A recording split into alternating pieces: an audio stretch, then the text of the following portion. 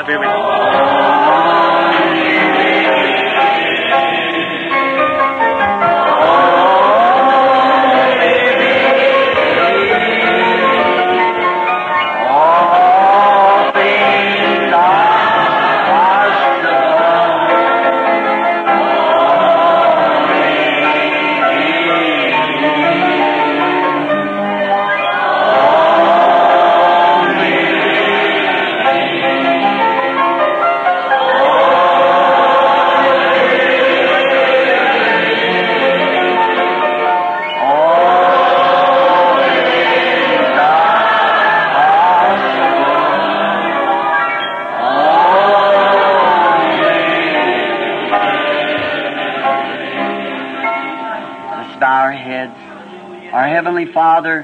Thank Thee for this song, Only to Believe.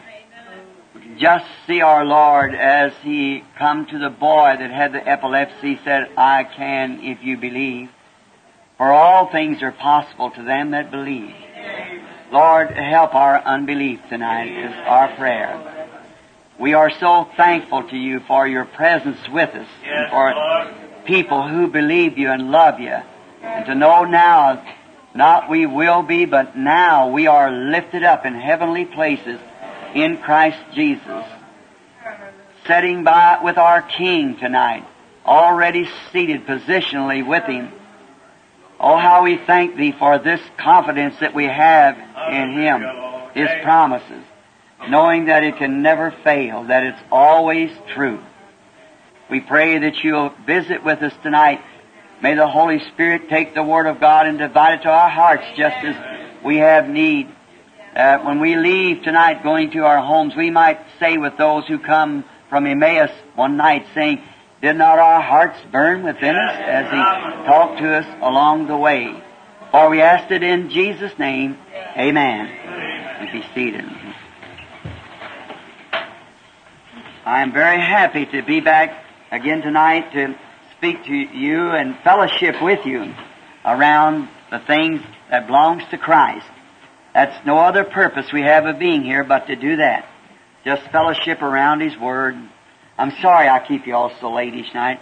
Someone told me, said, people go home here at 8.30 and 9 o'clock from church. But, uh, I'm, I'm just a southerner and kind of slow, you know, and I can't think of it so fast. I just have to kind of uh, take uh, my time with it. But uh, I certainly am thankful for the fine cooperation that, that I get from you people in there who are believing on God. Uh, your your fine cooperation makes it so easy to for the Holy Spirit to move among the people. I wish I could find this everywhere. I, I do, where you could find people who believe, no matter what God does, how much of a gift He'd represent, you have to believe it. Because it's ineffective unless you believe it. Jesus one time coming from another country came into his own and they said, we heard you did so and so at such place. But then he could not do many mighty works. Now we don't like to say it that way, but that's the way the scripture says it, that he could do, he could not do many mighty works because of their unbelief. And God's power is limited to your faith in it. That's the only limit it has is your faith. If all things are possible to them that will believe it. See? There's a great God in heaven. And if we can only get in contact, like a direct line to Him, all things are possible. See? But we must come in contact with Him. With no static nowhere, just a clear channel between us and God. Then He said, if you say to this mountain, be moved, and don't doubt in your heart, but believe that what you have said. Now you can't bluff it. Satan doesn't bluff too easy. So you, you can't bluff it, but when you really know it, then it's got to happen. See, it's just, it must happen. So we're here and worship Him, and He's lovely and fairest off in thousands as to our soul, and we're certainly happy to be seated here with you tonight in this lovely time of fellowship. Now, you that like to read the Word or mark the places, I thought tonight, been preaching so much on divine healing, I kind of changed the subject tonight a little bit. Not exactly change it, but just um, the running of it. Because you can't change one word in the Bible because it just coincides with the other words with it. All Scripture just binds together. It's just like a, uh, pardon if this sounds sacrilegious, and I wouldn't mean it that way at all, but um, it's just like a jigsaw puzzle. You know, we used to get the old jigsaw puzzles all uh, cut up, up, and then we'd sit down and study how to, put it together. And then we'd have to have something laying over on the side, the picture of what we were trying to place together to make the jigsaw puzzle come out right. If you didn't, you'd, ha- you'd never get it done. And now, that's the way the Scripture is. It's cut up like that to be hid from the eyes of the wise and prudent. See? They're like the Pharisees, smart scholars. Jesus, thank God, that it, uh, He hid that from their eyes. And will reveal it to babes such as will learn. Now, if you want your example to lay aside your pattern to see what the Scripture goes together with, just lay Jesus over here and go to watching Him and placing it in the Bible. You got the whole thing come out right because it is the revelation of Jesus Christ. So oh, New Testament and Old both all speak of Jesus. They, Jesus Christ, the Son of God, because He is the, this book of redemption. He was the Word, and He is the Word, and that's found to be Him, you see. So this is the whole book of redemption, which is Jesus Christ fitly put together by God, with the promises of redemption and healing and everything for the human being. See? Do you get that now? This book is Jesus Christ, put together by God, see? And He come as a human being and redeemed us, and every promise is in Him and for you. So He is the Redeemer. Let us turn tonight in the Old Testament to get what we wish to make a context from as we read from Isaiah, the sixth chapter of the book of the prophet Isaiah. Uh, like Isaiah's writings, he was a great prophet. Did you ever know that Isaiah wrote the entire Bible and uh, like a prelude to it? He did. Isaiah starts out in the creation. In the middle of the book comes John the Baptist, and the last in the millennium. So he, the 66 books of the Bible and 66 chapters of Isaiah. So it's uh, just uh, certainly a foreshadow of the entire Bible. Now, let us read from the sixth chapter. In the year that Uzziah died, I saw also the Lord sitting uh, upon a throne, high lifted up, and his train filled the temple. And above it stood the seraphims. Each one had six wings. With twain he covered his face, and with twain he covered his feet, and with twain he did fly. And one cried to another and said, Holy, holy, holy is the Lord God of hosts. The whole earth is full of His glory. And the post of the door moved at the voice of him that cried, and the house was filled with smoke. Then said I, Woe is me, for I am undone, because I am a man of unclean lips, and I dwell in the midst of a people of unclean lips. For mine eyes have seen the King, the Lord of hosts. Then flew one of the seraphim unto me, having a live coal in his hand, which he had taken with the tongs from off the altar. And he laid it upon my mouth, and said, Lo, this has touched thy lips, and thy iniquity is taken away, and thy sins are purged. Also I heard the voice of God, the voice of the Lord saying, Who shall I send? And whom shall, or who will go for us? Then said I, Here am I, send me. I wish to uh, take a text, if we should call it that, on the subject of influence. Influence is a great thing. We're told of Scripture that we are written epistles and read of all man.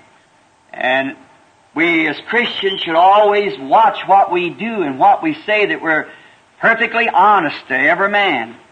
And you, if you can't be honest with your fellow man, you certainly won't be honest with God.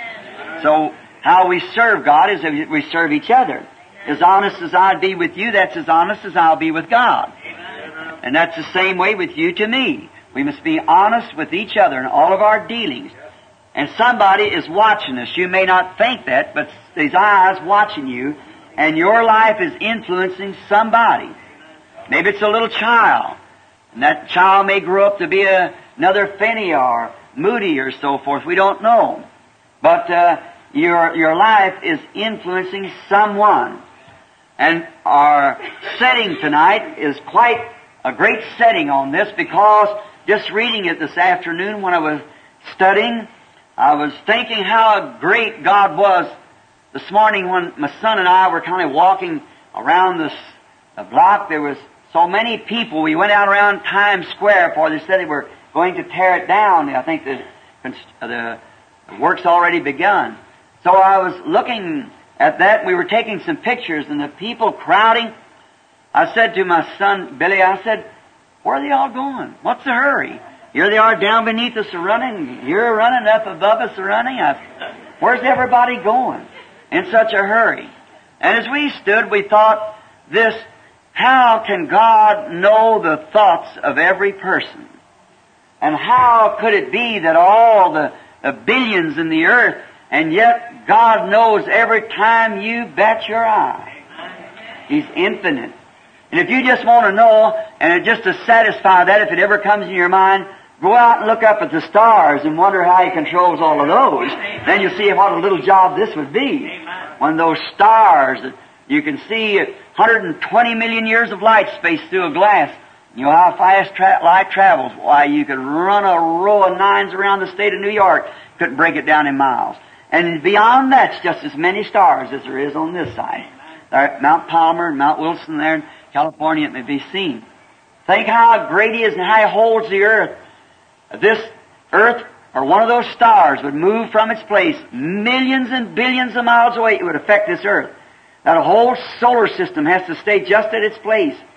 And see, everything God made like that obeys God, but when God made man, man seems to want to know more than he does, you see. We're the only ones out of place. They stay in place, and they have to stay in place to coordinate with each other. For instance, the moon. If the moon would ever move out of its place, the earth would be filled with water in a few moments. See, the, the moon is, is rather like a, a watchdog of the sea. It set its bounds that it can't pass, and when the moon turns from the earth, here comes the tides in. If the moon did catch it around the other side, it would cover the earth. See, so uh, uh, the moon stops and, and he turns his back to look around the other side of the world, and and uh, here comes the water's coming in real fast, and then he turns again. He's Jehovah's servant. Sea stops and goes back to its place again because it sees the perfect moving of Jehovah. Oh, if we in the church as the members of the body of Christ could only work in harmony like that, you'd see a great, mighty church of the living God, all in one array, filled with the Holy Spirit. Wouldn't it be wonderful? Every member of the body functioning just exactly to its place. Every gift to its place. Every gift helping the other. Every member helping the other. That would be wonderful. That's what we want to see. But we'll see it someday, and it will be right. Now, this young fellow, um, Uzziah, was a king, but before he became king, he was a king during the reign of, of Isaiah the prophet. And um, he was a shepherd boy. He liked the outdoors. He was a great influence on on Isaiah's life. Isaiah was a young fellow also, just a young prophet. And you read the story, if you want to take Second Chronicles 26, it'll tell you how that um, at the age of 16, after the death of his righteous father, he became, they taken him and made him king over Israel. At the age of 16, he began to reign. And he had seen the influence of his uh, parents. His mother was a godly woman. And uh, his father was a godly man before him.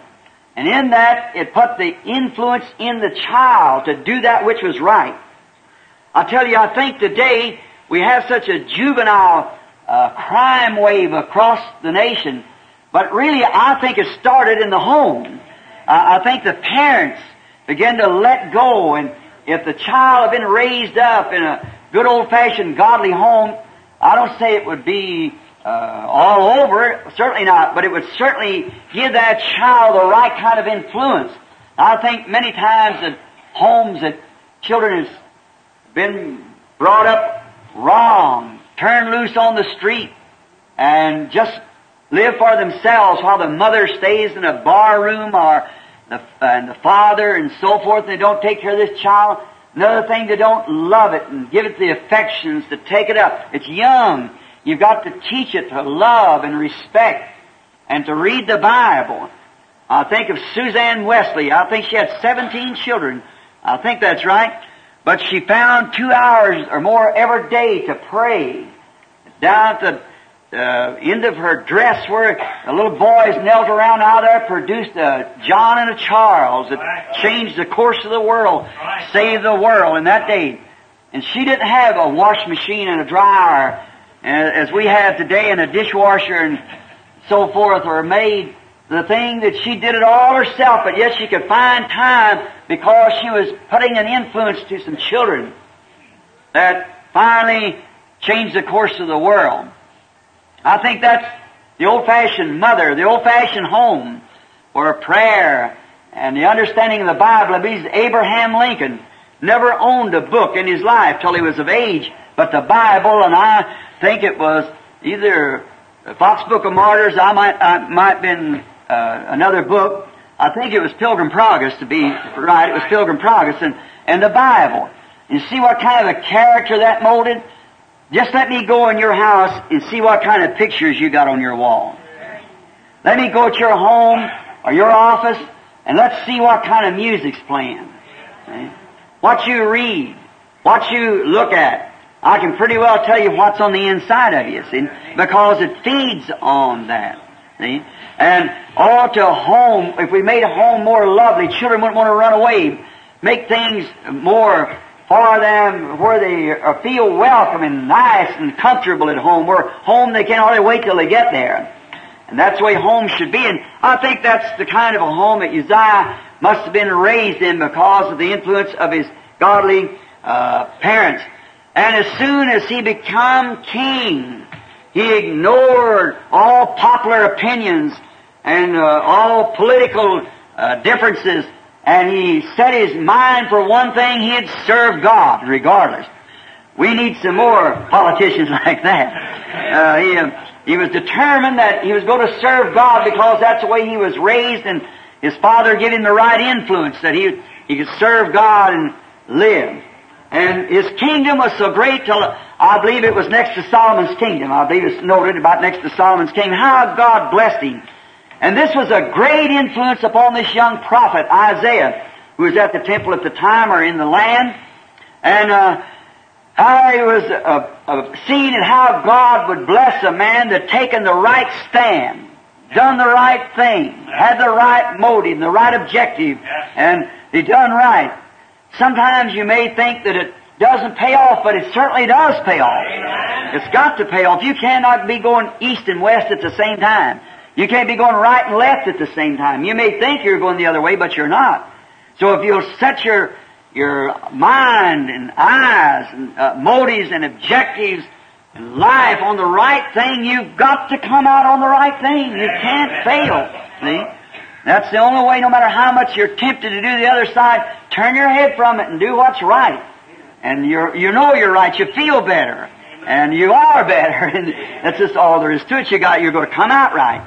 If you start going west, you're not, you're not going to be going north. You're going to be going, you're going to be going west. And that's the same way it is in right and wrong. And Isaiah saw this. And he saw that God blessed him and how he, all the nations around about his fame went plumb into Egypt. And how the nations didn't want war with him. They, they seen that God was with him, so he just, uh, they sent in peace offerings and herds of sheep and things and, and give it to him uh, to cause peace, and he was a good man. And I believe if a nation or a people or a church or an individual, no matter how much the critics criticize you, just do the right thing. They have a respect for you way down in their heart. Uh, I found that to be the truth. Amen. See? Be honest. Be upright. People will respect that. And uh, even though they're wrong, they still respect it, you see, because it's, it's just a human being. We're all human, and we, we know that there's a right and wrong, and we must take that way. And, and Uzziah helped this standard. He was a great influence, as I've said, to Isaiah the prophet. And then Uzziah made that fatal mistake just like many other people does. When he got, felt secured, felt that he just had the whole thing in his hand, he got lifted up in his spirit. He got lifted up to pride. Now, there's a real example for us all. You know, that's been the trouble. I'm, I'm speaking to Christians and, and ministers, and I, I want to be honest about these things. And just, that's where many ministers even make a mistake. We've heard so many times about uh, the ministers, uh, the acts that they do, and and the things. Some of them maybe to doing things they should not do. I think sometimes them are good men, a wonderful Christians that's been used of the Lord, and then finally they get a little kingdom built around them, or a lot of influence, many people attending their meetings, until they get careless. And they get kind of lifted up. The people applaud them and stand up and and uh, we, we shouldn't really do that. We remember we're just all there's no big people among us. We're, all just God's children. You see, if God made some of us one thing and some another, why He may be with a finger and an eye and so forth. Well, uh, we got to appreciate each other and not try to feel big because we're all connected together to one God. See, and we all come off of one tree. See? And now we find that many times ministers gets the feeling just a little secure. And uh, they keep leading out, and the first thing you know, they'll do things that they should not do. And we know that many times righteous and good men will get so that they'll have too many uh, social affairs. Just uh, they want to go out to big parties, and the first thing you know, they'll call for a little drink once in a while, and they get a tangle with the world. And uh, I think that's what's the matter with our churches today. I think that's what's the matter with our Pentecostal move. Now let me state this first clearly. See? You hear me say things about the Pentecostal church, and I am Pentecostal. See? But here, what if there was no Pentecostal people in New York tonight? Where would I go to preach this message to? See? I appreciate the Pentecostal people. They're my brothers and sisters. But yet, when I see something wrong with my brother, my child, or uh, be my wife or whatever it was. Right is right. A correct parent will correct their children. And I think that the trouble with our church, we try to get too much like the, the others. See? Uh, we try to act like somebody else, you see, and, and we begin to take on their habits. And the first thing you know, it used to be, uh, I don't remember the Pentecostal people in their beginning, of course, they've been many years ago. This last move from Azusa Street, but I took the history of it. And I, I've read many books and talked to some of the old men. Fixing to have a meeting right now with one at Shreveport, Louisiana. He'll be there. Was one of the first men in Azusa Street.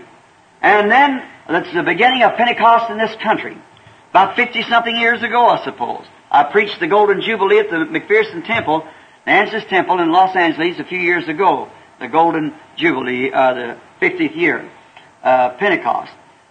Now, you see, but since then, there's been so many little things creep into the church.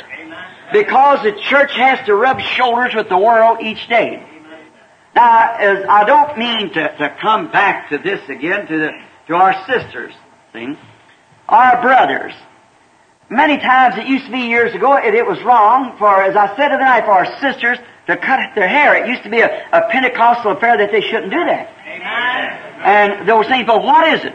Now we go into the different parts of the country and we find the, uh, the, our Pentecostal sisters with those waterhead haircuts, you know, them the big uh, haircuts like that, and you can tell them about it, and they use makeup, they, they wear clothes like man, and you say, now, Brother Branham, you're picking on the women. Now, wait a minute, let me pick on the man. The, the brother that'll let his wife do that. He's not a much ruler over his house. See, see, uh, see, you shouldn't do that. But what is it? We've rubbed shoulders with the rest of them. Some little weakling come in from some seminary or school and have a different idea of it. But there's only one perfect example that's right back to the Bible. The Bible condemns that, see? And it's not right. And then we find other things. It used to be it was wrong for uh, holiness people to, to attend bioscopes or movies, you know. Now they go all the time, see? And then Satan pulled a fast one on it, put the television right in your house and, and fixed it in there. But all these things that it used to be wrong. Well, what is it? See, it comes in so gradual until the first thing you know, it's a you. It's like a vine growing around you. Now, if you keep that vine away from you, see, and just keep wrapped around Jesus, around the Word, and stay with that, see, you'll grow straight. That's crooked, and it pulls you off the road. Christ pulls you up. That pulls you sideways. And then you see one woman, like a minister's wife or a minister, start doing a certain thing, his whole church will say, well, our pastor does it. The pastor's wife does it. Why shouldn't we do this? See, you're influencing someone and be sure that you're influencing them right towards the right road and the things to do that's right. Now, we find out when you get lifted up, right then you're on your road down. See, when you lift yourself up. And we find out that this uh, Uzziah, he got lifted up because he felt secure. All everything around him, he he had his uh, uh, nation, and it was well taken care of, and God had blessed him, and he had great vineyards and herds and sheep and, and mines and everything wealthy, and all the nations was at peace with him. So he, he just got lifted up, so he thought he could just do anything that he he wished to in pride. He got so lifted up until he tried to take a minister's place. He went into the temple and took uh, the uh, censer and went to the altar. And when he did, the priest ran after him and told him he shouldn't do that. And when he was corrected, instead of being humble as he would have been before he was lifted up, he'd have said, that is right, I have no, no right to do this. And had set the censer down and handed it to the priest who was of uh, Aaron, ordained to do so, only consecrated for that service. I'm uh, travel quite a bit with the these are full gospel businessmen. Many of them are sitting right here now, and I've got to speak at their breakfast uh, Saturday Saturday morning at somewhat Statler Hotel, I believe it is. They said they already uh, sold 1,700 tickets for the breakfast already. So they, um, uh, uh, not long ago, I was speaking with them, and they're taking the businessman up on the platform, taking the text and preaching the gospel. I said that's wrong. It certainly is wrong. It's hard enough for us preachers to keep it straight, let alone take a businessman's not ordained to something like that. That you bring in little ideas and so forth. And I said you shouldn't do that. Don't never try to take the other fellow's place. God made you a certain thing and you stay that. You stay just what you are. Don't try to impersonate the other. That's what always ruins our the gifts that God sends to the world. We find so many carnal impersonations. And we find someone who tries to copy after the other. And like I said, as a lady minister, so Mrs. McPherson was living, and every woman minister wore those wings of, that she did, or what it was, and had their Bible the same way, and everything that she did, they did. We notice we got so many Billy Grahams today, but you see, God never made but one Billy Graham. That's all. He, and you're just as important as Billy Graham, or Roberts, or any of those famous men. You're just as important until you get out of your place. And then you're no good at all. You, you're, you're hinders to, to these men, and you're hinders to yourself in the kingdom of God. Stay in your position. See? Stay what God made you. See? And then you'll operate right. As Paul, that's not nothing new. Paul taught the same thing. He says, the hand shall say to the eye, because I'm not the eye, or the ear say to the nose, I, will no more be an ear because I'm not the nose or something. You, you can't do that. See, it all fitly sets together and moves as one great unit. And um, we mustn't try to impersonate anyone. Just be what you are. See? And that's the way God made you. You never fashioned yourself, and remember, as much as we ministers would like to take Billy Graham's place, we cannot do it. Neither can Billy Graham take our place. See? We each one has something to do. The common little fellow here that may be a janitor, the little woman that may be a housewife, the greatest minister on the face of the earth today could not take your place. You, God had a purpose in making you what you are. And you just serve God in that way that He made you. Now I think if we just do that, the wheels would roll a lot easier. yes, it would if we would do that. Now I get lifted up. And we find out instead of when someone tells someone something scripturally, and we see that it's right, instead of of trying to humble ourselves to say, well, now, I, I've been wrong. You forgive me. And I, I didn't mean, I didn't, I didn't know that. So I'll just quit doing that. Well then, instead of doing that, too many times we do like Uzziah did. He felt like he was too big to be called down, see? He was a king. And many times I've seen uh, ministers that way that felt that they were just too important to be told what the word was truth. Well, the days of miracles are past. I can show you where God ordained miracles. Now, you can't tell me where He ever took it away, see? And He ordained gifts. You never did see where He took it away. See? Uh, it's in the Scripture. Go ye into all the world, preach the gospel to every creature. How long? To all the world, to every creature hears it. As many as hears it. These signs shall follow them that believe. See? We can't substitute something else. Just take what he said. And it'll be all right. And it'll work fine, but as long as we try to adopt our own ways.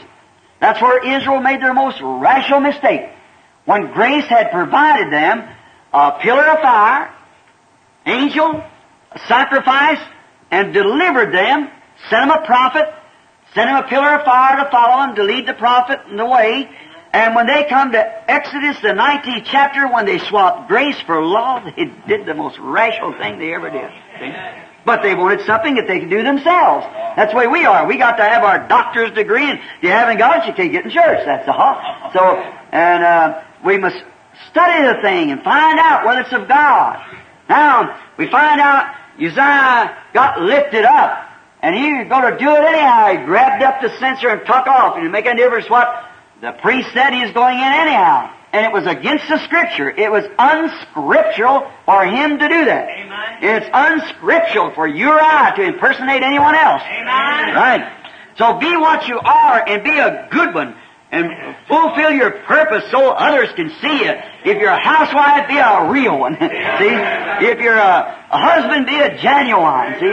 And if you're a deacon, be a, a genuine or a preacher, whatever you are, but don't try to take someone else's place. And then when the Word calls you down on this, don't, if you do feel rebuked, then repent. That's all. Is get right. That's the only thing to do. But Uzziah didn't want to do that after God had blessed him the way he had, and yet he didn't feel like that he would do that. He felt he was going to go on and do it anyhow because he felt he was secure. But while he was in the, it kind of made him feel angry at those men too that was telling him the word of the Lord. And when he did, he rushed in anyhow, and we find out that in his face come leprosy. And he was a leper until he died. He had never could go to the house of the Lord no more. He died a leper. After he had seen the hand of God, and how God had been so good to him, and done the things he had, yet that man died isolated leper. Now we can do that. We've seen many things, but don't you never think that we're so secure that God can't put judgment upon us. See? Remember, don't try to impersonate anyone else. Be just what you are. If God made you a Pentecostal, you be a real one, you see. If, if God, but don't be ashamed of it. I'm not ashamed to be a human being. I'm not ashamed to be an American. I'm, I'm not ashamed to be a minister. I'm not ashamed of the gospel that I preach. Now because I know many of them thinking I've lost my mind. Even my good old righteous mother that died a few years ago, when I first received the Holy Ghost, there was no one in our country knowed anything about it. And uh, I was just a local, little young Baptist preacher, about 20 years old. But when I received the Holy Ghost, my mother said, that boy has lost his mind, see? But no matter what mother thought, I found a, a pearl of great price. It might seem like that to her, but to me, it was real, see? It was, it was a genuine something that I'd found in God because I always believed as a boy that this was the Word of God and it could never change. Jesus said, heavens and earth will pass away. But my word shall never be changed. It shall never pass away. You can't uh, substitute anything to it. It's just the way it's written, and that's the way we believe it. Don't add nothing or take nothing from it. You know, over in the book of the Revelation, it said, Whosoever shall add a word or take anything out of this book, what? The curse would be upon him. So just stay it just the way it is and believe it like that. And God will honor him. Now, he was smitten uh, because of his uplifting of pride. Got the feeling that there was, he was the only one there was, and uh, he'd do what he wished to, and nobody else could stop him. we had a brother not long ago that I felt so sorry for him. Looked like everybody got out on to accuse the brother of doing something wrong, which uh, the newspaper accused it. But I, I got to thinking about that. Accused the man, and I really took up for him because I, I certainly didn't agree with him, but the man who uh, wrote an article and put it in a magazine that this man had said all these different things and done these things, and one night at a meeting in, in uh, Minneapolis, they told me that the writer of this magazine was there, and the article had just come through in the Christian uh, magazine, so I, uh, as a Christian Digest, so I they pointed the man out to me and said, that's him sitting there. And uh, he had in this article that uh, this minister had uh, wrote something, a book, that the man did not write. I know a lady wrote that book, and I knew the lady, uh, Biting of Devils. So I, I said, um, well, now one thing that I would say, now I might disagree with the minister, but I think if the, if the editor of this column, if he never checked his script no better than to say that this man wrote this article and I know he did not do it, see, then I'm afraid a lot more things he said about this minister's wrong. And then I said this, I would rather be found even wrong, but trying to get somebody saved and trying to hinder somebody that's trying to get somebody saved. So I'd rather take the man's place at any time than to try to criticize or tear down what somebody else was building up, even though they had, they made an error, done something wrong. So we must watch, we influence others on what we do. Then, when this man got stricken by this leprosy, when he got lifted up in pride, this was a great lesson to that young prophet. He found out by this being a great lesson to him that God orders his man to the place. See? Man cannot order himself. God orders his man. God makes you what you are. See? And God orders his man. And he mustn't try to take another's place. And it was a lesson to Isaiah that he mustn't put his eyes upon human beings for an example. He must put his eyes on God. Now that's us. Any man, any man is subject to mistakes. He's subject to error because he's human. He's subject to the violations of God's laws. And he's subject to many things because Satan tempts him. And he's just a human being. And if God ever lifted his hands, it'd fall. That's all. And um, I've heard people say, "Oh, Satan can't do it." Yes, you just let God lift His hand one time and watch what happens. It's uh, I constantly plead, God, you know, don't send him. Uh, have mercy on me. Keep him away from me. You see, uh, I need God's mercy, and we all need that. Now we find that Isaiah he leaned heavy upon the good king's arm, and now the arm had been taken from him, and the king was dead and died with leprosy in shame. Now Isaiah uh, during this time, the king being lifted up, well, then his young son was to take the place, and we find out that if the people had got into a, a horrible, immoral stage, when there's no real godly leader, then the people begin to get into immorals. I think that's what's the matter with us today in our nation, in our churches and things. We need godly leaders, somebody that sets an example. And um, but he let Isaiah know here that he could not uh, look upon man. So Isaiah, one day, as he wandered around, he must have got all weary, being noted he's had a great responsibility. He went down to the temple to pray. Now that's a good thing to do for all of us. He goes down to the temple to pray. And we notice when he was praying down at the altar, all at once being a prophet, he fell into a vision. And when he did, he looked up and he saw God, the King, sitting way high, exalted up on his throne, and his train filled the place. Then he saw a real example. He saw one that he could put his confidence in that could never be stricken with leprosy, one that could never fail. In other words, he was saying Isaiah, see, you put your hope in some man and it failed. You put your uh, look to this man for an example, and, and he failed. Now look up here at me. I'm the unfailing God. Now, I think that's what uh, we should do today. As His servants should look to Him. Jesus is our example. And we must look to Him, the author and finisher of our faith. Now, uh, we find out in this vision that he saw God lifted up high on a throne. Then he noticed another thing. Note around him was, and in the temple where he was at was these heavenly seraphims. If you check that word, I think it's only used about once or twice in the Bible. And it's, it's not cherubims, but it's next to cherubims, something like an angelic being. Yet it is an angel, it, it is an angel.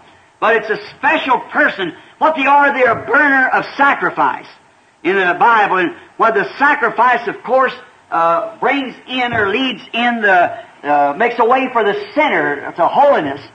And these uh, seraphims burning the sacrifice which was required, they, they went to, uh, that was their duty. And here they were, um, uh, flying to the temple, uh, while Isaiah was in the vision, and the whole temple become full of smoke. And um, they were crying one to the other, Holy, holy, holy is the Lord God Almighty. Hallelujah. Holy, holy, holy.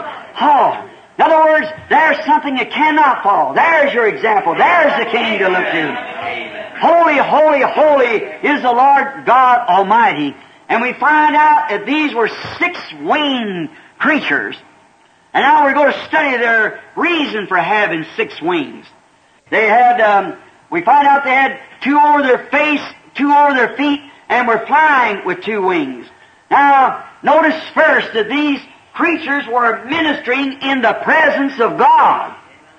And that was their duty, was crying, Holy, holy, holy is the Lord God Almighty. And they cried day and night in His presence as the sacrifice is laying there. Holy, holy, holy is the Lord God Almighty. And I want you to notice something here and think. Those seraphims had two wings over their faces. Why would they put them over their faces? Because they were in the presence of God. And just think if holy angels has to cover their face in His presence, what about us? Has the wings over their faces represented reverence? But today we find that there's no reverence. Hardly you can find reverence. They don't have no respect for God. They stand and sing, God bless America with their foot on the bar. And uh, it's terrible the way they do. I went to ask for a, a sandwich today in a, in a place, and the little lady, not making no remarks about her, but I thought she was dying. She looked like she cankered under her eyes. She had blue all around her, and she up uh, just a few clothes on, and she said, "What do you have?" I said, "Would you bring me a sandwich and a a, a, a, a glass of buttermilk?" And she said, "Bourbon on something, some kind." I said, "No, ma'am. You misunderstood me." I said, "I said buttermilk," and she said, "Oh, I said, won't you have something to drink?" I said. I want buttermilk. And she said, uh, well, you are, don't you want to, we serve so and so. I said, I'm a minister. She said, well, uh, well, a Catholic priest come in here and drink. I said, I, I'm not a Catholic priest, lady. I, I want, I want a glass of buttermilk. It seemed like it shocked the woman. She didn't know what it was. See? And the world has got into such a place. Now, if a priest comes in and drink, the congregation's got a right to drink. There's an example, see? Oh, my, what a corruption we're living in. We need a house cleaning all the way from the pulpit to the... Yes, sir, we certainly do. How the corruption of, of the world. And these, no reverence, no respects. The people today, they don't respect God. They have no reverence. They take His name in vain and tell dirty jokes and and even ministers do that. You hear a, a joke, I guess, would be all right, but uh, ministers should be examples, I think, of what of, of righteousness and holiness. And uh, that's the reason I think maybe we uh, we don't get no farther than we do. We're not don't come the the sincerity that we ought to have in it. When you're carrying on and going on, you lose that little grain of sincerity. You know, there's something about it. You must remember that God is watching you every hour. He watches you when you're asleep. I, I think the reason that people uh, do those things is because they, um, they're, they're, they're not conscious of His presence. See, but yet He's there where you think He is or not. He sees every look that you make and every, every move that you make. He knows all about it. But we ought to realize that. We used to have a little song when I first come among the Pentecostals. They sang, all along on the road to the soul's true abode, there's an eye watching you. Every step that you take, this great eye is awake. There's an eye watching you. You see? You remember the song? Now, that is true. God's omnipresence knows what you're doing and even your thoughts. One time while I was in a vision, I was speaking to a being standing by me. And he said back, he said, your thoughts are louder in the heavens than your voice is on the earth. He knows what you're thinking. You might say you, uh, you do this and you do that and it, uh, but you see, down in your heart, if you think different, you're, you're doing something wrong. You should be just what you are. See?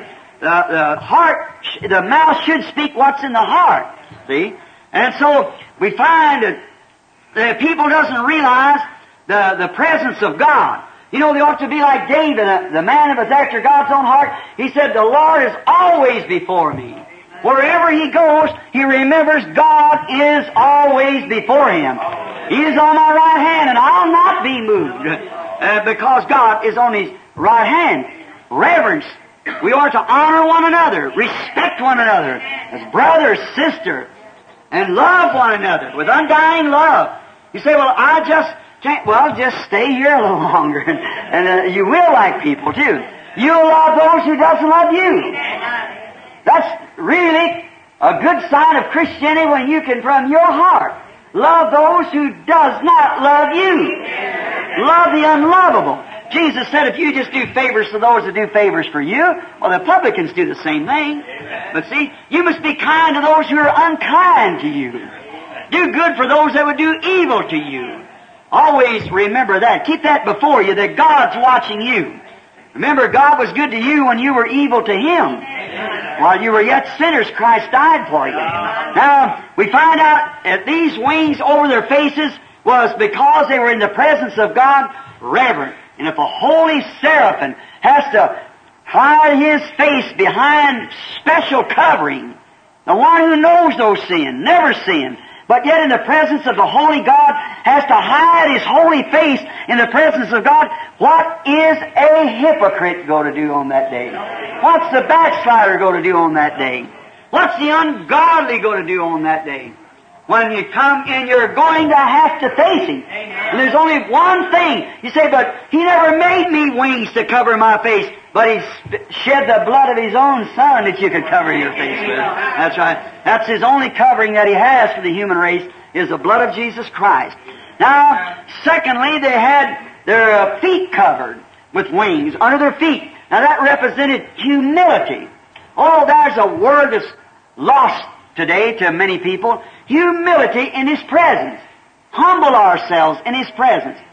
I've seen the Holy Spirit come into the room and, uh, and perform and do just exactly the things that the Bible said He would do. Discern. And I've seen people get up and walk out. I've seen people sit and talk and laugh and make fun of it while it was going on. I remember one night a minister brought 28 of his congregation and was sitting, this was at Jonesboro, Arkansas. And um, uh, they had an epileptic boy. He's having uh, epilepsy, and it, it, that's a devil. It's a devil. That's what it is. They don't. Doctors don't know what does it. It's a it's a devil.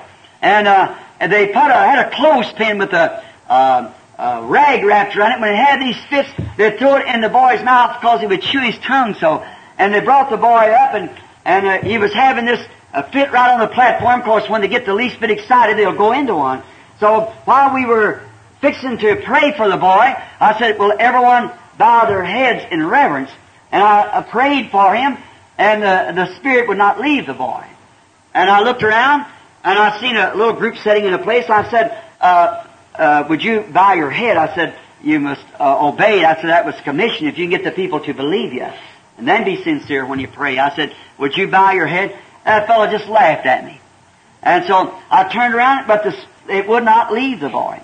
And now this is hundreds of people, five times of what's sitting here tonight, sitting there. Yes, many times.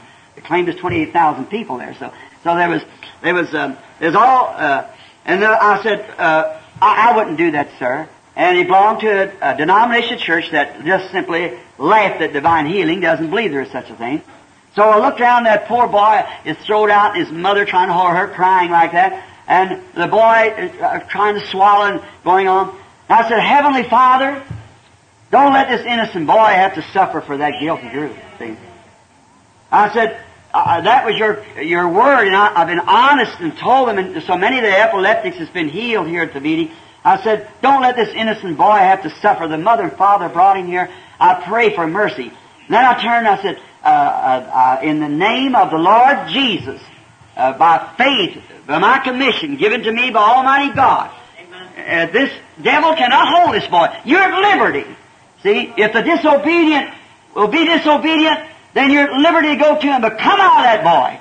And I saw 28 people with their pastor fall into epilepsy right around and around and around and around in the floor like that. And as far as I know, they still got it. See?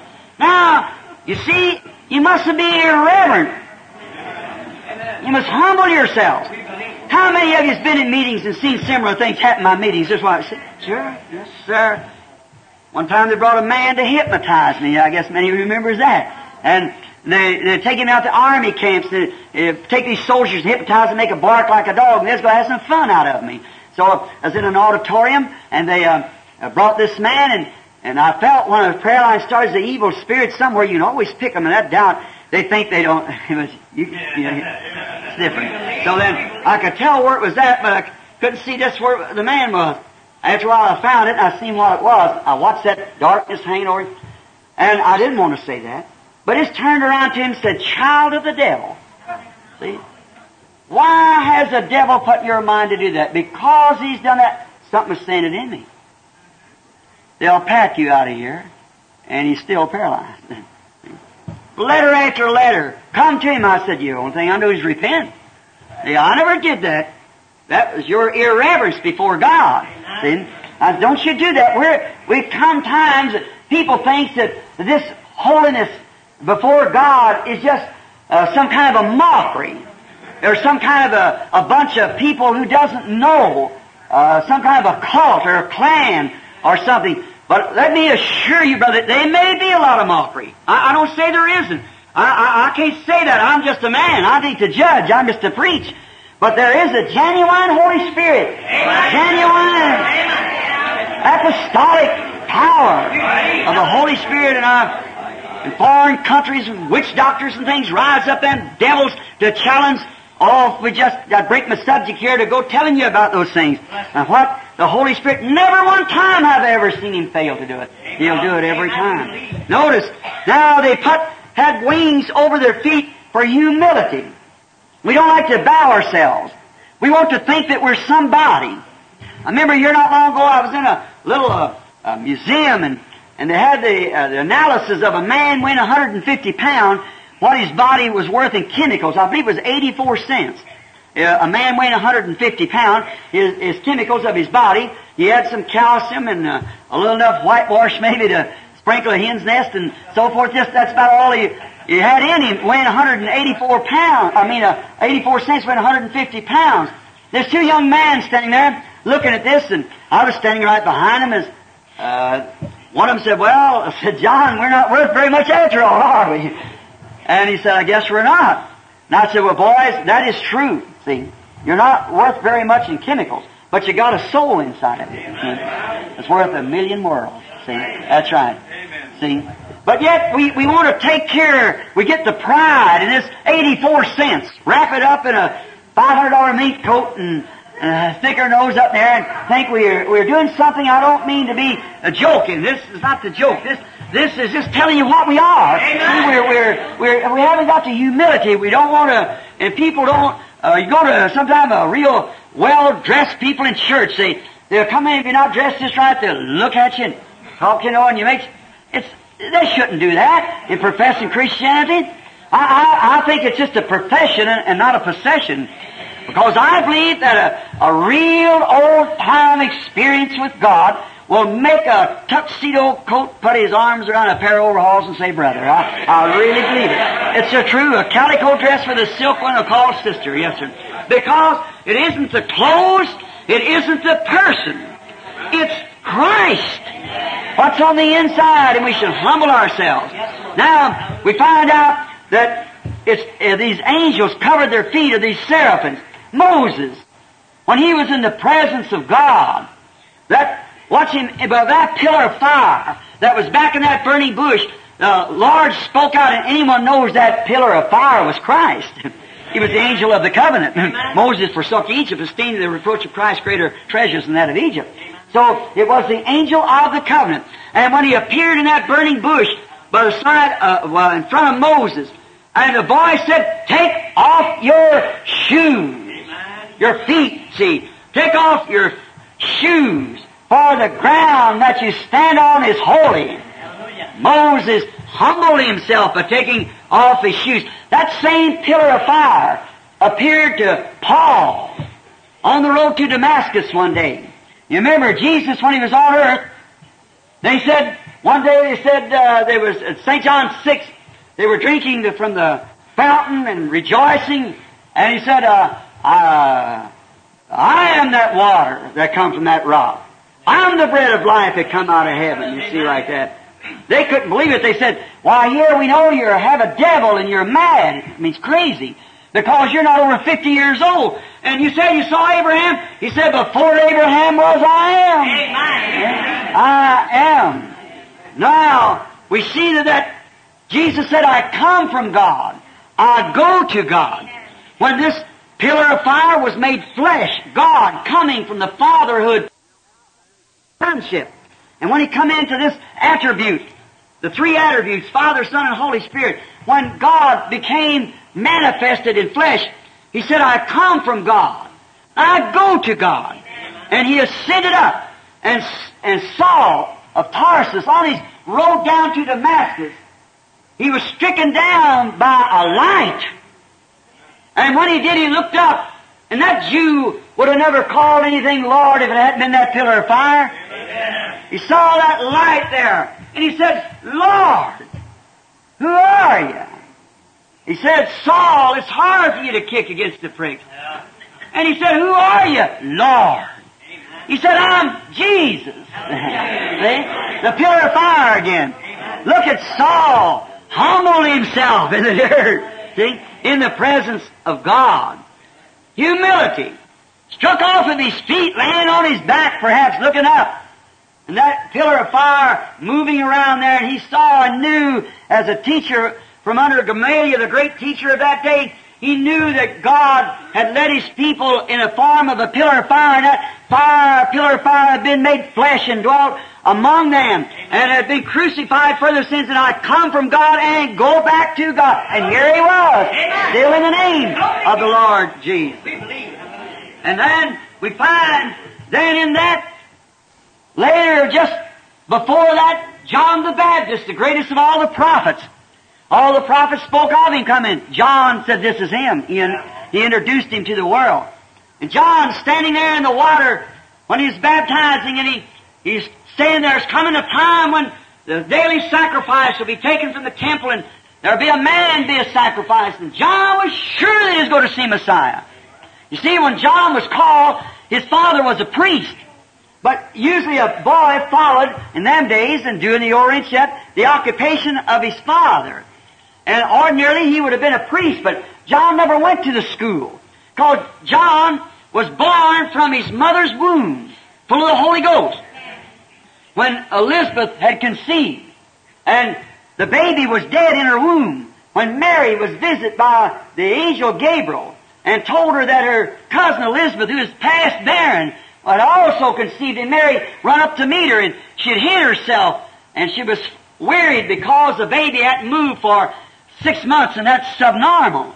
And um, so she seen Mary coming. She run out and met her and hugged her, and she said, um, began to talk, and, and she said, uh, "No, she's going to be mother." She said, "Yes, and um, I, I'm going to be mother too." Oh, I guess you and Joseph are married. No, no, we're not married yet. And you're going to be mother. Yeah, the Holy Ghost overshadowed me. and said that holy thing that would be born of me, in me would be the Son of God, and I should call His name Jesus. And just as soon as that word Jesus was spoke the first time from a human lip, a baby that had never been, had life in it yet, received life in its mother's wombs and begin to jump for joy. Amen. And if the name of Jesus Christ will bring life to a dead baby, what ought it to do to a born again church that claims to be filled with the Holy Ghost? Now, what kind of a boy should this be? He was to announce the coming Messiah. Malachi 3 said he would. Behold, I send my messenger before my face. Now, if he'd went down to the seminary, some of those ministers down there said, now, John, you're to announce the Messiah. Why, you, you know that Uncle Joe here, or uh, Father Jim, or some of them, you know he's got all the, the, the, the qualities of being the Messiah. That's him, John. That, uh, see, he'd been influenced by man. He went into the wilderness. And he stayed with God. That's the best seminary I know of. Because his job was too important for some man to be telling him taking him out to big social affairs. He, he had a, a work. He was cut out for something. And John knew that when he come out preaching that the Messiah was on earth then. Just as sure as them wise men knew when they looked down from Babylon and seen them three stars in line, that was a sign the Messiah was already on earth. That's the reason they were crying, where is he, born King of the Jews? And the church didn't have the answer. They haven't got it today. The Bible's what's got it. God's Word's what's got it. Right. We find out that all, John had to announce the Messiah. And he had, he only would know that Messiah by a sign. That's how I know Messiah. That's the only way God ever makes himself known. By a scriptural sign. And he watched. He stood out there, he said, they said, Are you the Messiah? He said, No, I'm not even worthy to touch his shoes. He said, But he's one, there's one standing among you. Oh my. Don't think I'm excited. I know where I am. No, but it just feels good when I get to thinking about that. There's one among you. I say that tonight, there's one among you. The great Holy Spirit promised to be poured out in the last days. I see his sign constantly. And I know he's the Messiah. Because he still does the Messiah sign. There he stood among them. He said, There's one among you. I'm not worthy to touch his shoes, to unlatch his shoes. He's the one that'll baptize with the Holy Ghost and fire. And one day, walking from out of the midst, come an ordinary man. Walked out.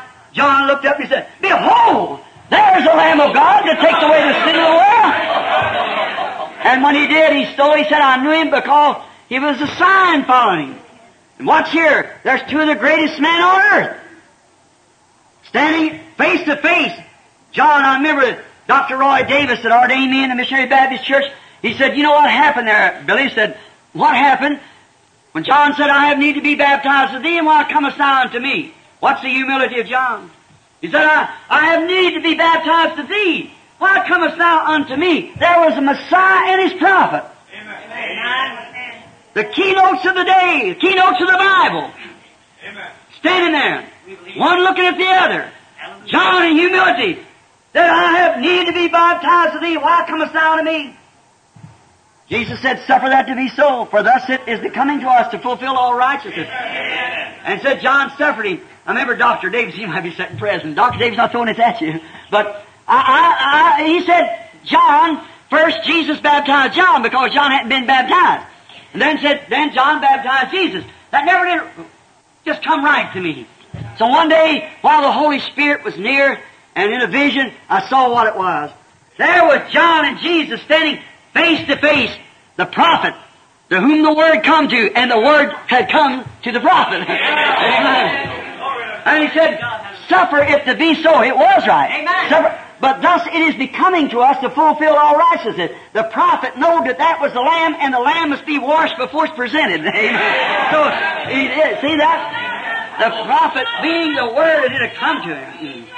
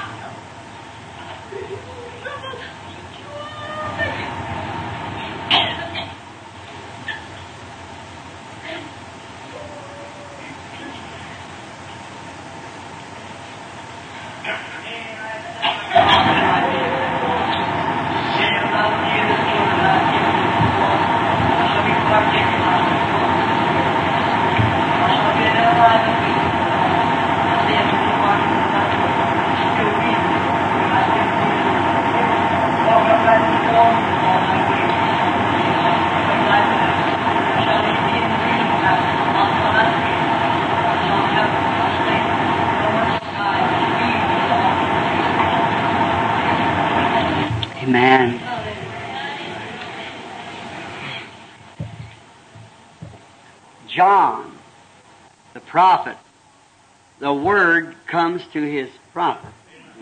And the word come exactly to the prophet. It is becoming, it says behooveth, which means becoming to us, that we fulfill all righteousness. Oh, how I could leave the text now for a minute. How it's becoming to us to fulfill all righteousness. Amen. The hour is here. Amen. Something we must fulfill all righteousness. We know what to do. See, we should do it. That's right. Believe with all of our heart. Notice, then we find that John humbled himself in the presence of God. The thing of it is, people, my brother, sister, and friends, is to be conscious of your littleness. See? Don't be conscious of how big you are. Be conscious of how little you are. You're, you're small. We're all that way. God can do without us, but we can't do without Him. See? We, we can't do without Him, but He can't do without us. God's only trying to find one person He can get in His hands. He's always tried to do that. You notice all down through the Bible. When He found Isaiah, when He found Jeremiah, then He found, He found Samson one day. But Samson gave his strength to God, but he gave his heart to Delilah. See, he, you've got to give your all to God. Your reverence, your respect, your everything that you are, just be nothing. Just see how little you are. That's what God wants us to do. That's real uh, humility. That's why these seraphims are in His presence, you see, with their face in reverence covered, their feet in humility. Now, thirdly, they could fly. They had two wings. That put them in action. God is showing His prophet here what kind of a servant He has prepared. Reverent, humble, and in action. That- see, that's a real servant of God. These who look upon Him, He was looking upon Hezekiah that got lifted up and fell by pride. But a servant, that His servants and before Him is reverent, humble, and in action. His servants, that's the way they should be dressed. Dressed in reverence, humility, and constantly about the Father's business. Yes, sir. Reverent, humble in action. Just like the little woman we spoke of the other night at the well. Now, she is a little predestinated seed laying in her heart. But as soon as that light flashed upon there and she seen that was the Messiah, it didn't take her long to go in action. She even forgot the water pot that she had in her hand. That's how quick she went into action. She had to tell the people. She had to tell somebody else.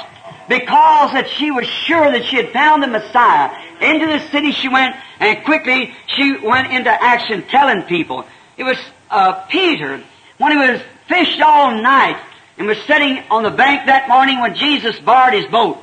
And it uh, thrust out a little from the bank and was uh, uh, preaching to the people. And then he said to Simon, uh, launch out into the deep and let down for the drop. Let down. Uh, uh, Simon said, I'm a fisherman. I, know when the moon and signs are right. I know when the fish is running. I, I, I've born on this lake here. I've fished all night and haven't tucked even a minute. I haven't taken a thing. Said there's no fish in there. But at thy word, there you are. I'll lay down the net. Oh, you might, we can't figure these things out. You, uh, God's past figuring out. You've got to believe it. See? God is known not by knowledge, not by education. He's known by faith and faith only.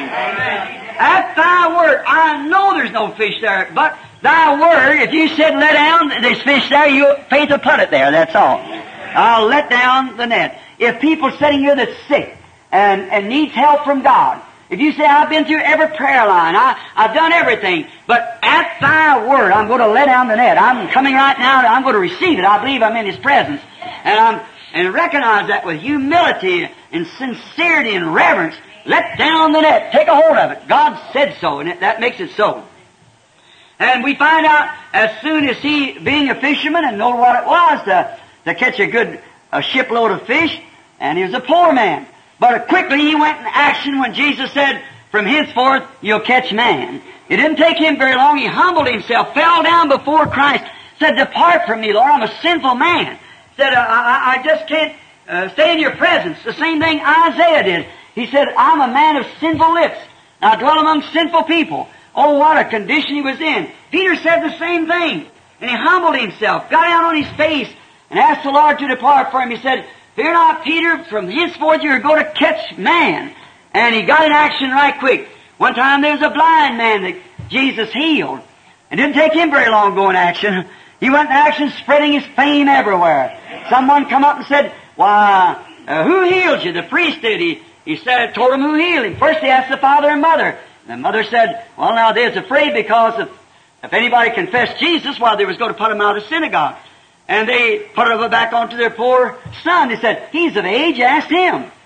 And he said, one Jesus of Nazareth heal me. He said, well, give God praise. He said, uh, we, we are, we don't know nothing about this Jesus of Nazareth. Said he's a sinner. Uh, don't give him no praise. Give it all to God. And I, we don't know whence he come. Well, this blind man had a very good question for him. He said, it's a mighty strange thing that you all are the spiritual leaders today, and this man opened my blinded eyes, I was born blind, and yet you don't know where he come from. Now, that's a strange thing. Could I say the same thing? The very God that promised to come upon his church in this last days, and they haven't got the answer. The one who receives has got the answer. So whether it's a sinner or not, I can't say that. But one thing I know, where I was once blind, I can now see. Oh, once I was a sinner, I'm saved by the grace of God. I know something happened to me. Huh? Something happened. You can call it holy roller, or you can call it whatever you wish to, but it saved me 30 some odd years ago, and it gets better all the time. So I, I enjoy it. Someone said, you done gone crazy. I said, then leave me alone. I'm better off this way than I was the other way. So just let me stay the way I am. I feel better this way and doing better. I do more. Yes, sir. He went in action right away. Yes, sir. He spread his fame everywhere. The people at Pentecost, as soon as they seen that God kept His promise, Jesus said, Behold, I'll send the promise, the Scripture, the promise of my Father upon you. But tarry ye, that's wait. Wait up at the city of Jerusalem until you're endued with power from on high. Not the first prayer line or the first time through, but just stay there until it happens, see? Until. Not one day, two days, or ten years, just until it happens. Stay until. And when they was filled with the Holy Spirit, they went into action right quick. Out into the streets and screaming and dancing and acting like drunk people and speaking in other tongues and what a carry on. They was in action right quick. As soon as they humbled themselves, went in and closed the door and waited on the Word of God. Oh. What we've seen, friends, I know it's getting late and I don't want to keep you any longer. But look, what we have seen in the in the last few years ought to put every one of us into action. It ought to put us in action. What first? Make us reverent, humble, and in action, and love burning in our hearts trying our best to see a lost world and seeing the signs that God, even down as far as I know, to the very last one, that the church is going to receive before the fire falls from heaven. The same pillar of fire that was seen back there in the wilderness, the same one that struck St. Paul down, is the same one even's got his picture taken, everything. Right here doing the same thing it did there. Same Messiah. If you put the life of a pumpkin vine into a watermelon vine, it would bear pumpkins. If you put the life of a grapevine into a, a, a pear tree, it would bear grapes. Because it's a life that's in it. And if this is what we see and know, thousands around the world knows it. Science has testified to it. Everywhere the pictures is taken. It's right here now. That is true. So true. It's right here now. And if it don't bear the same kind of life it did when it was in the person Christ Jesus, if it doesn't do the same thing in His church, then it's wrong. But if it bears the same life, it's got to be the same pillar of fire that. It's leading us to the promised land. In my Father's house is many mansions. The promise that He gave us. And it leads us there. And we see it fully vindicated. God's Word made manifest. The lame walks. The deaf hears. The blind sees. The dead's raised up. The thoughts of the heart cannot be hid. It's called right out. The very works that He did. What is it? Some man, it's the Messiah. It's the Messiah of God, the Holy Spirit. Same one. Why ought to put the Pentecostal church instead of trying to criticize it? It ought to be in action everywhere with humility and love, to say it to a lost and dying people. We should respect it. We should love Him. Humble ourselves. Make ourselves reverent and be in action like these seraphims was, with reverence and humility. Vindicated clearly. Promised to us in the last days, and here it is. Amen. We see it. Jesus said so. He said it would happen. Here it is. Just before it'll be burned up. That sign of His coming proves that the coming is right at hand now. Amen. It could come at any time. I don't see nothing to hinder the rapture of the church right now. Well, the mark, well, the mark of the beast is on the other side, remember, see? The apostasy. It comes in at the church. Now wait, I, maybe I might have said something. That's my way of seeing it, see? Um, watch. Word by word is already fulfilled. It should put us in action. That's exactly right. We should be getting every lost soul to the kingdom of God that we can. Because one of these days, you go to bring them, it won't do no good. The door will be closed. There'll be no more. Oh, they may be mentally worked up and excited and shout and jump up and down and claim this, you know, but when the sleeping virgin comes to buy oil, she never got it. And did you ever see a time in all the history of these last days, if there ever was a time that the Presbyterians, Lutherans, everything else is trying to come to the Pentecostal message? What did Jesus say? While they come to buy, it was a time that the bride went in. The wise virgin went in. They did not get the oil. They didn't get it. That's all. That's according to the Scripture. And you see these signs and these other things. Everything's setting right in order for His coming. The seventh watch, He come in. Some fellows sleep the first watch, second, third, fourth, fifth, and then the seventh watch there come a cry, behold the bridegroom coming. The seventh church age, that's the watch, the age, it watched it. And this is the Laodicea church age at the end of it. Amen.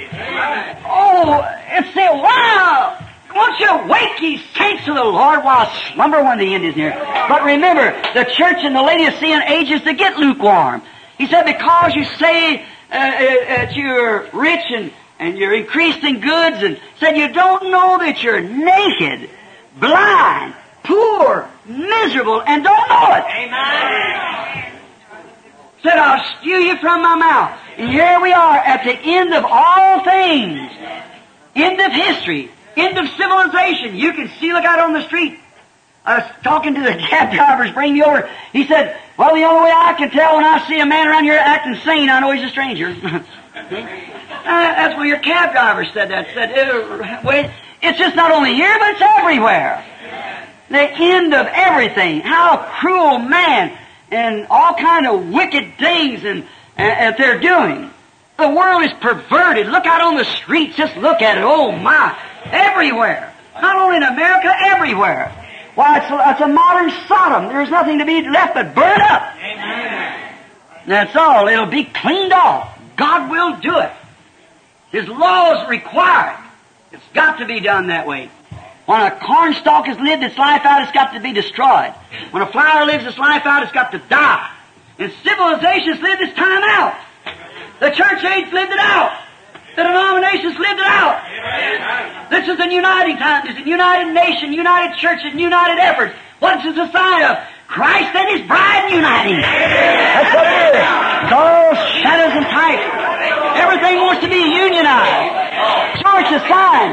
Christ is fixing to unite with His bride. A wedding supper taking place in the sky. So it ought to throw the church into action when we see the signs of His sure at hand. Oh my. All these things are signs to us everywhere. Oh, we should be in action. We like the prophet of old, Isaiah. We see what self-exalted men come to. We see what these organizations that rise up and say, well, because you don't belong to us, you're not even in it. We see what happens to them. What do they lose? Just like they're stricken with sinful leprosy, with unbelief. They, they lose their hold on the Word of God. Some of these people try, they exchange, lose their hold on the Word and swap it for creeds. What do they get themselves? A mess of leprosy. That's right. Like Uzziah of old, trying to take the place of anointed office. And I haven't got nothing but a doctor's degree or something. God ain't looking for a doctor's degree. He's looking for humble hearts. Somebody that'll believe Him. But we have took man and educated him to bishops and everything else, cardinals and what more. educate them in that to hold a divine office with an education of carnality. We need the baptism of the Holy Ghost to take that office. The Holy Ghost is our tutor. He's the one that makes himself known among us. The sign of the hour, the last days. But we, like Hezekiah, exalted up. They can think they can take their places. Look what the effects of the vision did to the prophet. Now he was a prophet. He was a vessel for the word of the Lord to come to. He was chosen, born to prophet. Finally gave his life, sawed up to pieces with a saw. But we find out this great prophet, when he saw this vision from heaven and saw the order, how God was preparing his man, why it caused the prophet to confess that he was a sinner. If we want to be so big and wear some kind of a big turnaround collar, some kind of a clothes, you know, it makes us look so holy and reverent. There's no holiness with us. We can't be holy. Holiness is of God. Certainly it ain't a holy church. Ain't a holy mountain. It's a holy God. That's right. Not holy people, a holy God. It's God in the people. Peter referred to the Mount Transfiguration, a holy mountain. It meant the holy God was on the mountain. Look at it now, see? But it was a holy God there. The presence of God what made it holy. It's the presence of God in our midst now that brings holiness. Not my holiness, not yours, but His holiness. His presence. That brings the holiness. We are to humble ourselves, cover ourselves, reverence, humility, and say, Lord Jesus, receive me into your kingdom. His holiness, not ours. Holy Spirit. The prophet confessed, caused him to say, I'm a man of unclean lips. A prophet. God, we need another vision like that. When he saw up there, uh, the, saw this cleansing power of God. Now watch how God did. He sent one of the, the seraphims and took the tongue, took a hot coal off the altar, put it in his hands, come laid Isaiah's head back and touched his lips, said, Your iniquity's gone. Then Isaiah learned another lesson. I might drop this in. Might not be very appropriate, but I believe it is. Did you notice? God cleanses His prophets by fire, not by theology or a book of some kind. He, he cleans His people by fire. Holy Ghost and fire. Not by declaration of creeds or books or something you've got to learn a bunch of prayers and so forth. He cleans them by fire off of the altar. That's how He sets them in order. Hmm. Yes, sir. That's how He cleansed His prophets at the beginning. When 120 was in an upper room, the Holy Ghost fell in tongues of fire set upon them. They were cleansed and ready for service. That's how God cleans, not by learning, get a Bachelor of Art or DD, PhD, but getting holy fire from heaven that takes the lying off your lips and takes the carnality out of you, burns that stuff away, that dross of, of the world, and puts His presence in there and lives to that person. Holy fire is what God cleans His church with. Isaiah learned that. We ought to learn it. That God don't cleanse by knowledge, He cleans by fire. You see how His prophet set in order. Now He cleansed His lips, took His iniquity away. Then, after He had, he had confessed, humbled Himself, He said, I'm a man of unclean lips. When He saw the presence of God, do you follow me? What do we, what do we know right now? We're in the presence of God. Believe. That's right. We are right now sitting. You, you can, we can't comprehend it. But we are now in the presence of God, seeing God. Believe. You believe He's here? Certainly He's here. We must. I'm your brother. But he said, the works that I do shall he all, you do also. Is that what he said? All right. If he's here, his spirit's here. That's what makes him. Then if we can surrender ourselves and get our own thoughts away just like this has no thoughts, then another voice can speak to it. That's why if we can empty ourselves out, there's the secret. Get rid of yourself. Then God gets, get rid of your own thinking. Get rid of your own ways. Then let God move.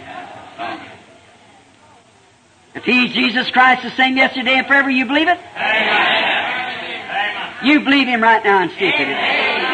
God in the highest. I've been watching this little fellow sitting here, right here in front of me. You don't have a prayer card, you. If God will tell me what you're sitting there for, you believe it? It's a spiritual problem. You're all wound up, you don't know what to do. If that's right, raise up your hand. All right, it's all over. Take the word what I said, it's all over. You believe that? That colored lady sitting right back there looking over at him. Got heart trouble. Do you believe that God will make you well? Sure. You believe, all right, you can have your healing. You believe He's the same yesterday? That man, that white man with his hand up. You believe me to be God's prophet, His servant? I don't know you. You're a stranger to me. You have prayer card or anything? Just a man sitting here. All right, sir. You got a tumor in your throat. That is right. Is that right? You believe me to be His prophet? You believe me with all your heart? You got another, you got a burden on your heart. It's about a little girl, your grandchild. She's got a bad hand. That's right. Is that true? There's a good connection. Just a minute. You're not from here. You're from Connecticut. And your name is Wilson. Your first name's Art. Art Wilson. That's exactly right. Is that true? You believe it? Right. There's a lady sitting right back here, a colored lady. Look out, got a something like a yellow coat on, yeah, chartreuse green. She's praying. Got a prayer card? You haven't got a prayer card. You haven't. You believe me to be a servant? I'm a total stranger. We're two races of people. you but you're praying. That's you, yes. You believe that God can tell me your trouble? You got a tumor. That's right. You got something on your heart too. You're praying. It's a friend. You got kidney trouble. That's right. Raise up your hand. All right. Now you can have your request. I challenge your faith. What is it? When the prophet saw that he was in the presence of God, he humbled himself. Look, first he humbled himself, then the fire cleansed him. And After the fire cleansed him, then it was a cleansed Isaiah. When he heard the voice of God said, Who will go for me? He went into action. Here am I. Send me. Oh my! When the coal of fire had touched the prophet, making him as pure as pure could be, when the voice of God said, Who will go for us? Then he answered, Master, here am I, send me. Amen. That was a call to clean Isaiah. After the Holy Ghost had cleaned him, he didn't need any seminary experiences. He didn't need any book experiences. He had been cleansed by the fire of God. He called into action. What was it? When he seen God in action. He went in action. We see God in action. It's time for the church to get into action. And be examples of what God is. Do you believe that? How many wants to confess all your wrongs and everything now and say, God, cleanse me? Piano, young man. When the coal of fire touched the prophet, let's stand to our feet. I'll stop right here. It's getting late. Believe with all your heart now. I want you to bow your heads. Remember, after he saw God, there it is again. Amen. Now anything can happen. Anything can happen. Oh, when the coal of fire touched the prophet, of making him as pure as pure could be. Oh, when the voice of God said,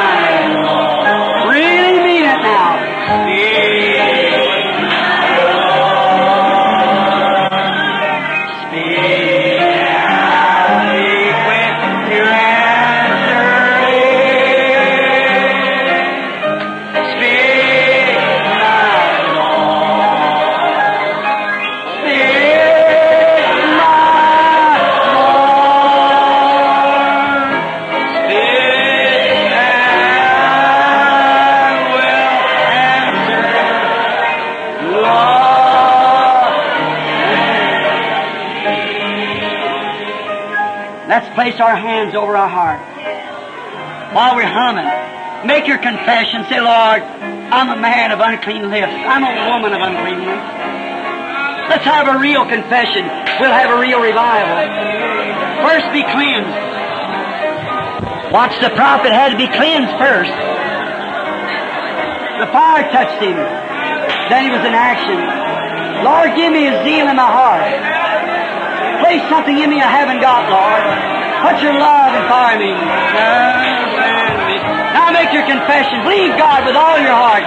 Speak, my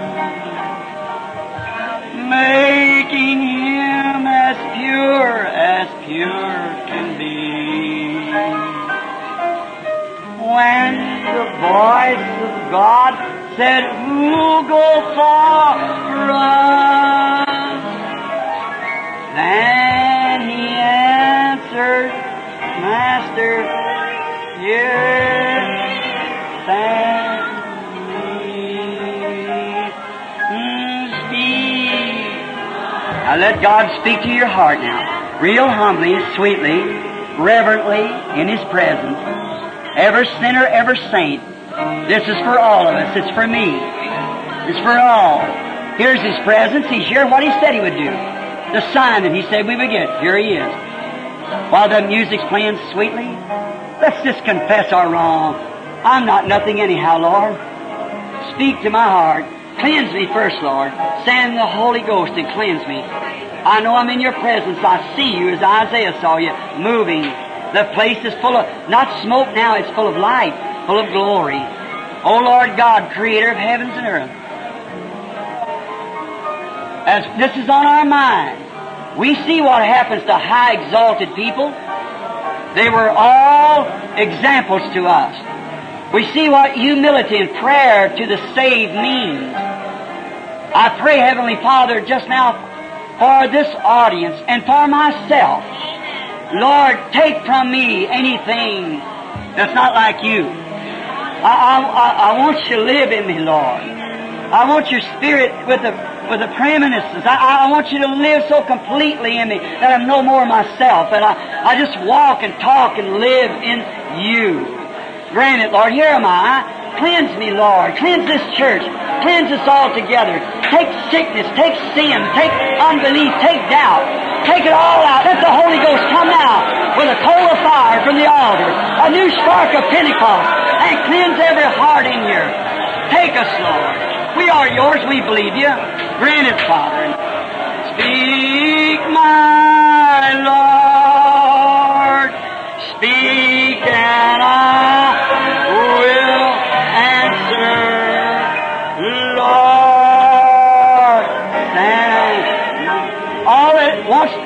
And have consecrated your lives to Christ anew. Right now, I want to consecrate yourself in His presence.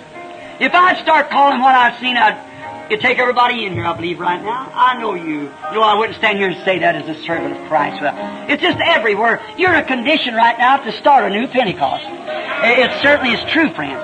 Just humble yourself. Cover your face. Cover your feet. Co- just get uh, close to Him. Bow down. And make your confession. And believe. Do you want to do that? If you do, just raise up your hands while we sing, Speak, my Lord. Speak, my Lord. Pray now.